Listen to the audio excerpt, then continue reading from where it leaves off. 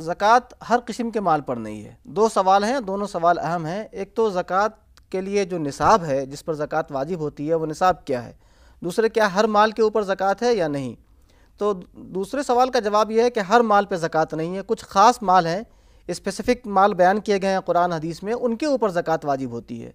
और पहले सवाल का जवाब यह है कि माल की एक मकदार होनी चाहिए अपनी ज़रूरियात से फाजिल, वो मकदार निसाब कहलाता है। उतना माल उसके पास साल भर मौजूद हो, तब ज़क़़त वाजिब होती है। ये निसाब अलग अलग माल के अंदर अलग अलग रखा गया है।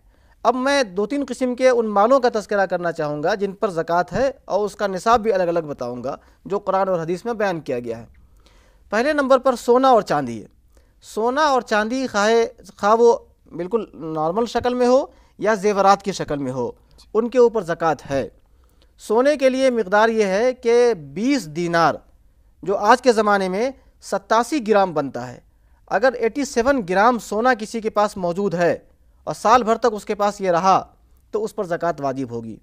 चांदी अगर किसी शख्स के पास 200 दिरहम जिसकी मकदार बनती है 612 आशारिया पैंतीस ग्राम जी। 612 ग्राम और समथिंग अगर इतनी मकदार में चांदी किसी के पास है पास है चाहे वो जेवर की शक्ल में हो या ऐसी ही हो और ये साल भर तक उसके पास है तो ये निसाब है, इस पर ज़क़़त वाजिब हो जाएगी। उसके बाद कैश आता है, रकम। नकद रकम खा बैंक के अंदर हो या पास में हो, इसी तरह शेयर्स वगैरह जो इंसान के पास हैं, उन सब पर भी ज़क़़त होगी और उनका कैलकुलेशन इसी सोने और चांदी से किया जाएगा। तीसरे नंबर पर वो सामान आते हैं जिनको हम तजारत का सामान कहते हैं। जो लोग तजारत करते हैं करते हैं, उनकी दुकान में या उनके गोडाउन में या उनकी फैक्ट्री में जितना सामान है वो सामान जो सामान बजाते खुद बेचा जाता है जी। फ़रोख्त किया जाता है उस सामान का कैलकुलेशन किया जाएगा उसकी कीमत निकाली जाएगी और उस पूरी कीमत के ऊपर ज़क़़त होगी। मजमू तौर पर वो उस सामान की कीमत अगर जो सोने की मकदार बताई गई सतासी ग्राम या चांदी की इनके बराबर पहुँच जाती है तो वो निसाब ज़क़़त हो गया उस पर ज़क़़त वाजिब हो जाएगी।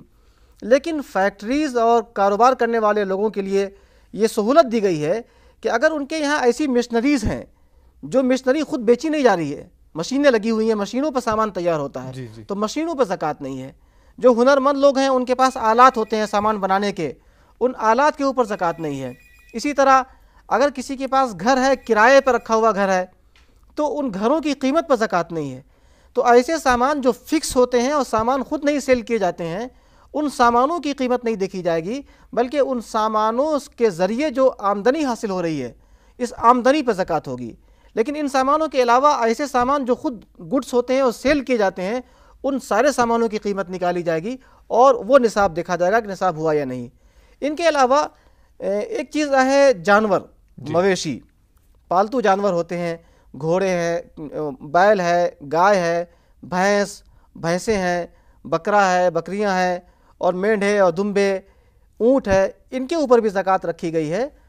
घोड़े के बारे में इख्तलाफ है। इमाम अबू हनीफ़ा रहमत कहते हैं कि उस पर ज़क़़त होगी दूसरे फ़ुका के नज़दीक ज़क़़त नहीं है। तो इन जानवरों के लिए भी बताया गया है कि अगर इसका निसाब पूरा हो जाए उसका अलग अलग निसाब है तो उन पर भी ज़क़़त होती है। तो इस तरह अलग अलग सामान है सबका एक एक निसाब है। जो कॉमन सामान है हमारे पास आम तौर पे होता है तजारत का सामान या कैश बैंक बैलेंस या सोना चांदी इन सब के बारे में मोटी सी बात यही है कि सोना सत्तासी ग्राम या चांदी 612 ग्राम इसकी कीमत के बकदर हमारे पास अगर है तो वो निसाब है।